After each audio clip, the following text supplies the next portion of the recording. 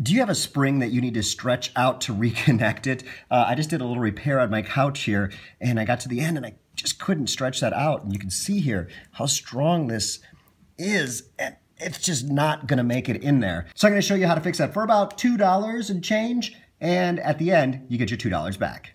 So you are gonna need a vise or maybe a second person to hold on it, but I'm, I'm working alone here. So I'm gonna take my spring and put it into the vise. So that's step one are nice and tight. Step two is to take a quarter and we'll bend the spring and start putting quarters in. And I'm going to bend it back and put some quarters on the other side.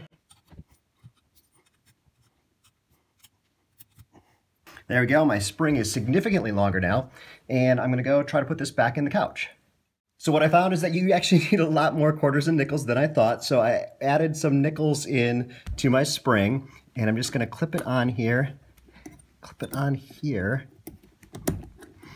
and now start pulling these out. This might be easier with a pliers.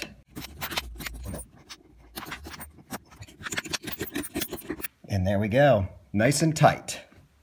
Now, I did want to point out that it took about 25 coins to make this happen, which was more than I expected. Um, it's uh, just the way the spring works. You're going to need more coins. We didn't have that much gap to start with, maybe had half of that. So definitely make sure that your pockets are full. And if this helped you out, leave me a comment down below.